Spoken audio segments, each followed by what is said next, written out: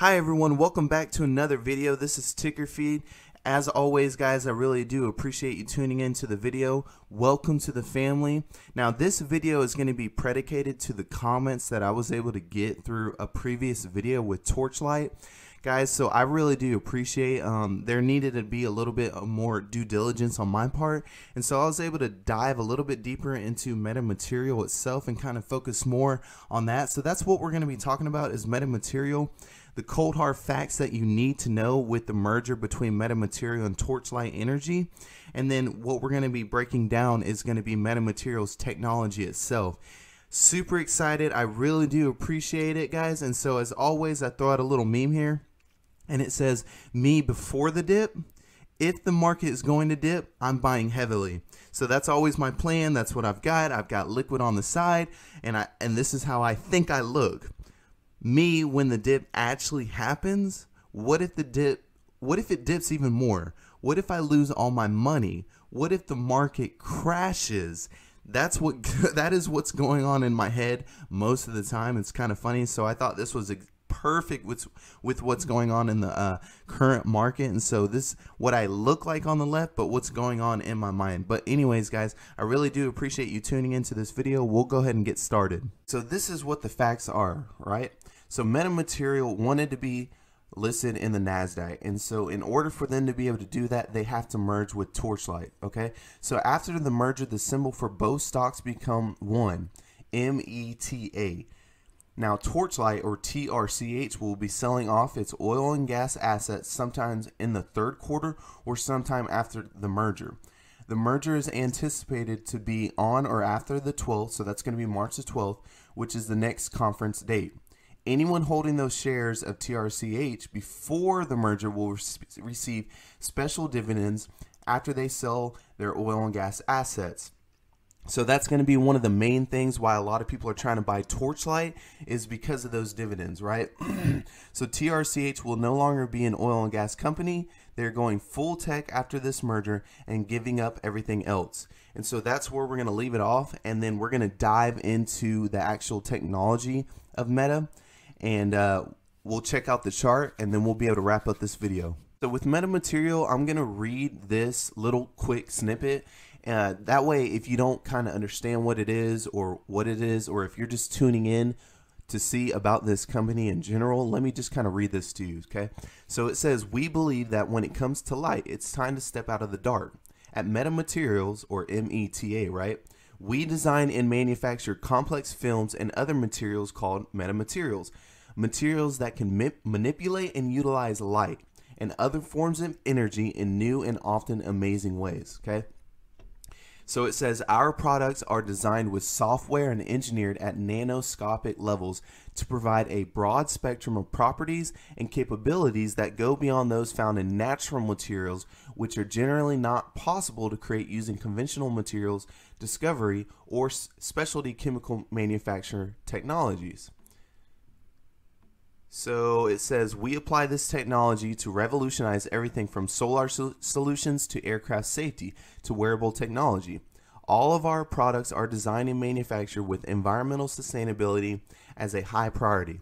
Okay, so that was just a quick snippet. So now we're going to actually look at the technology that they do because this is what somebody that is owning this stock or uh, thinking about buying this stock is going to want to know about. Okay, so to create holograms, what you have to do is get multiple beams of light that are overlapping with a specialty photosensitive photosensitive medium that reacts to the interfering light beams okay? So i'm not very scientific on this so i'm just be, i'm able to read this through just the uh, the website itself but the medium acts as a photographic film and records the areas of high and low intensity as variations of its refractive index okay? So this is what i wanted to read here okay? So most of us know holograms as th three dimensional uh, pictures right? So those 3d images of of uh, you know movies and whatnot. But also commercial use of holograms include 3d security tags right? So that's going to be on your uh, credit card cash card stuff like that right? For that counterfeiting. But not all holograms portray objects. Holograms can have unique often extraordinary functional properties. Okay, so Meta designs and fabricates holograms as specialty optical elements that can not only replace traditional lenses and mirrors, but can provide optical functions that are very difficult to achieve with conventional optics.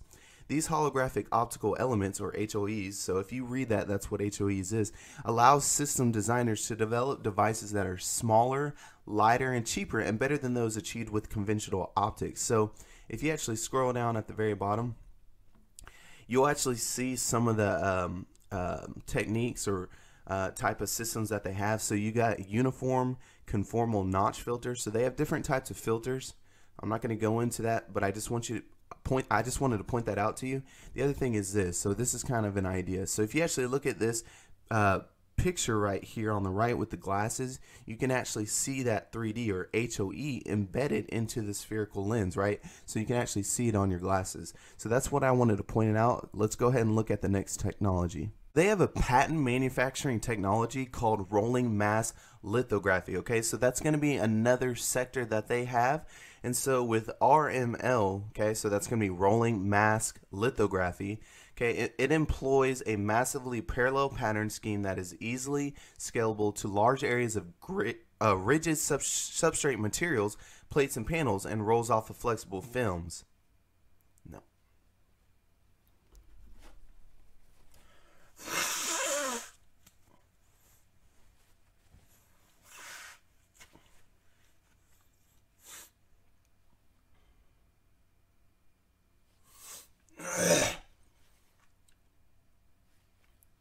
Okay, so Okay, so with Metamaterials, they have a patent manufacturing technology called rolling mask lithography, okay? So with that being said, it's a massive it has a massively parallel patterning scheme that is easily scalable to large areas of rigid substrate materials, plates and panels, and rolls of flexible films, okay? So it is used to produce a certain type of smart material made from a variety of substrates including glass, metal semiconductors, and polymer films. Okay, so here's the thing. As a result, they say that they're able to block, absorb, or enhance light. So RML's versatility is advancing the smart material research and helping to produce new metamaterial solutions. And this is what I wanted to point out is that the span for medical imaging systems to satellite orbiting the Earth. Okay, so let's go ahead and continue to the wireless sensing out of all the technologies for metamaterial, this one's probably my favorite. So this is going to be the wireless sensing. Okay. Now metamaterials can manipulate electromagnetic electromagnetic waves in ways that have not been possible until now. Okay. So here's what they can do. So the first thing you're going to be looking at is called non-invasive glucose sensing. So they have wearable metamaterial films that allow low power radio waves to safely pass through the skin collecting data from the blood. Next is going to be the radio wave imaging. So scientists are developing a portable, low-cost system that allows use uses in an in-house designed metamaterial film to conduct fast on-site scans for two main applications: stroke detection in the brain and tumors in the breast. Okay? Then the last is going to be your MRI amplifier. A metamaterial structure, when placed in an MRI machine, could substantially increase the signal to noise ratio, resulting in drastically higher imaging acquisition speed, sensitivity, and image. Right, so it's all gonna it's all gonna be dedicated. Not all of it, but a, lot of this, at least on the wireless part, is gonna be dedicated towards the medical te technology. Right, so which is ever growing. The human body doesn't change. It is not a machine. Right, so we always need something in order to uh, find these issues. So this is perfect technology, amazing. So the current industry challenges. Most non-invasive biomedical applications face a major problem in the interaction between electromagnetic waves and human tissue because the skin prevents incoming signals from entering the body. So this barrier makes it difficult to extract useful medical diagnostic information. So that's what I like about metamaterial because the type of technology that they have it, it allows the ability for that signal to noise ratio transmitted into the body without heating and damaging the skin, right? So it allows them to be able to pick up on that information, right? So I like that a lot. Now, this is here's a quick little picture of it. I think it's pretty interesting. It says a key to improving healthcare diagnosis is uh, early diagnosis. So by developing technology that can support this, we will, will be able to deliver immense benefits to both patients and wider healthcare systems. So again, here's a little pictogram of the picture of just demonstrating of what I just mentioned. This kind of helps on a visual. And so again, great company, great technology. I completely understand and see where everybody's coming from. So again, I really do appreciate it. And let's go ahead and look at the chart and we'll be able to wrap up this video. So just remember, Metamaterials wants to be listed in the NASDAQ, and so they have to do that with Torchlight. And the other thing is once they become once they merge, it'll be called META, okay? Now TRCH will be selling off its gas and oil assets right later in the future. So uh, and then you'll be able to get those dividends. And so i just want to mention that information. Trch will no longer be an oil and gas company right? They're going full technology so keep that in mind because thanks to the ticker feed family, I was able to get that information through the comments. And so I, again, I really do appreciate it. Now, looking at the chart, as you can see, it's at currently at $2.70 pre-market. The fee 52 week high was 320, right? So you're floating between 250 and roughly $3. Now, as you can see, it it's a little bit of volatile volatile uh, that's going to come with penny stocks in general at least currently but once this merger takes place and the long-term effects start to kick in, we're gonna we're gonna see this. In my personal opinion, we're gonna see this uh, the price of the stock continue to rise. So again, guys, I really do appreciate you taking the time to listen to this video. I'm gonna continue to make more and more videos on the content that I can find and whatever the most updated information is. So just wanted to give you that. Uh, but again, guys, this was a team effort, so I really do appreciate it. And uh, we'll just take it from here.